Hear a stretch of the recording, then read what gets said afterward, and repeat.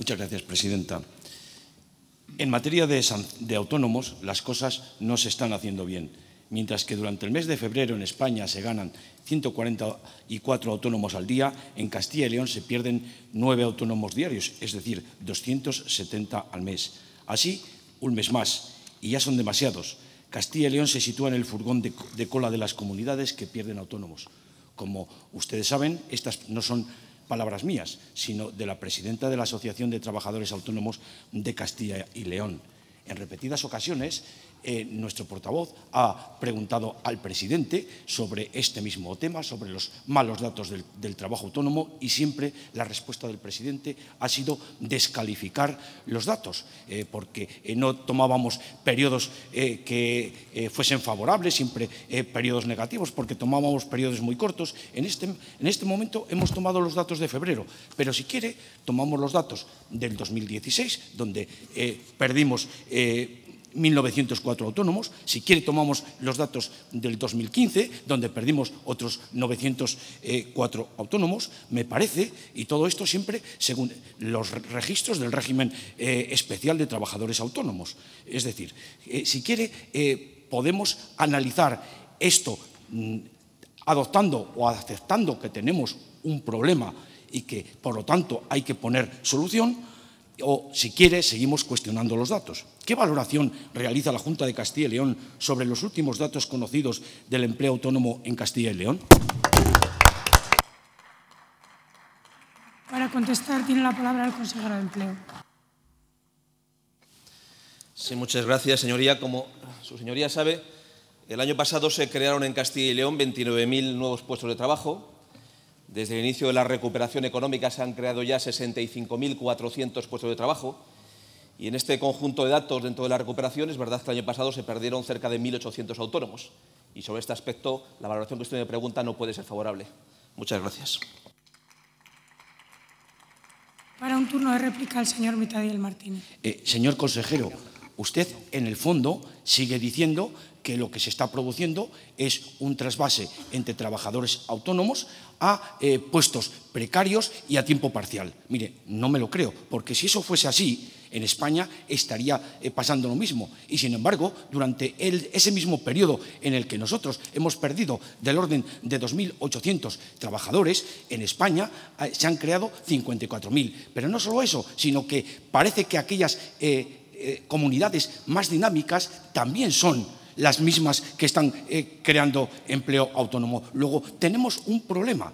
Tenemos un problema que consiste en que, como se ha dicho ya en este pleno y como le dije el jueves en la Comisión de Empleo, nuestra economía no es lo suficientemente dinámica y no nos puede engañar el que digamos que hemos crecido el 3,2% en 2016 y no nos puede engañar porque hay un sector, que es el del automóvil, que está tirando de forma muy potente de los datos de la comunidad autónoma. Y porque no se reparte ni sectorial ni eh, territorialmente de forma adecuada la creación de empleo. Por eso le digo, tenemos 200.000, bueno, eran 200.000 el 31 de diciembre, en estos momentos son 198.000 los trabajadores autónomos que, lo cual quiere decir que el número es lo suficientemente importante como para que lo tengamos en el centro de nuestras prioridades.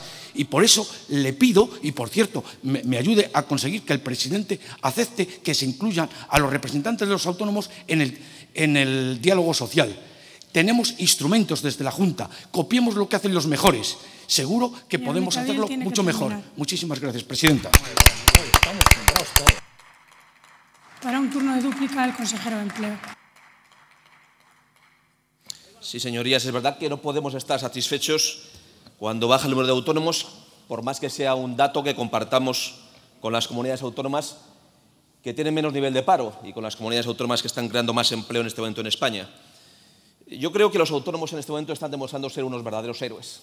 Fíjese, en Castilla y León, en los últimos cinco años, de cada diez autónomos, siete han conseguido pasar el peor momento de la crisis económica. Este es un dato que nos ha puesto de manifiesto la principal organización de autónomos de Castilla y León, ATA, como usted conoce porque lo ha hecho público, y es un dato mejor que el del conjunto de España. Por tanto, son más los autónomos de Castilla y León que han conseguido pasar con éxito los peores años de la crisis económica. Y eso hace, entre otros motivos, que Castilla y León esté entre las comunidades autónomas que tienen un mayor porcentaje de empleo, de empleo autónomo sobre el total del empleo de Castilla y León. De hecho, somos la segunda comunidad autónoma de España con mayor porcentaje de personas afiliadas al régimen especial de trabajadores autónomos. El 23% de todos los trabajadores afiliados a la Seguridad Social en Castilla y León son trabajadores autónomos. Y en este contexto es verdad el dato que decimos, pero también es cierto que cada vez hay más autónomos empleadores, cada vez hay más autónomos que tienen empleo por cuenta ajena. El año pasado, en concreto, aumentó en 457 los autónomos que pasaron a ser personas autónomas que tenían trabajadores por cuenta ajena y que no estaban con anterioridad. Y estamos en un nivel máximo de empleo por cuenta ajena contratado por trabajadores autónomos en este momento. Son 22.665 los autónomos que ya tienen en Castilla y León asalariados. Y el último año los autónomos consiguieron crear nuevos puestos de trabajo en nuestra comunidad autónoma hasta un total de 1.568. Prácticamente el mismo empleo crearon los trabajadores autónomos que el número de autónomos que se perdió en nuestra comunidad autónoma.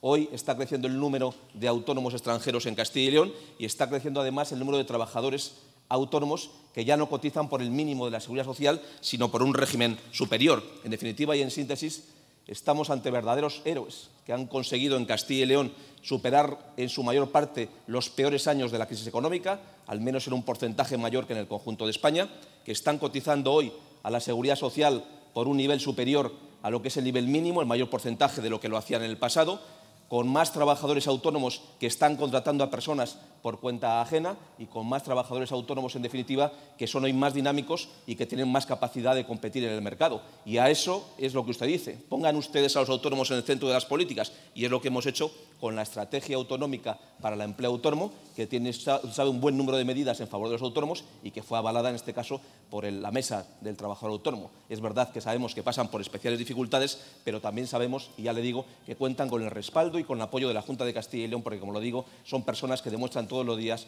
la capacidad para luchar, para trabajar y para sacar adelante su iniciativa empresarial. Muchas gracias.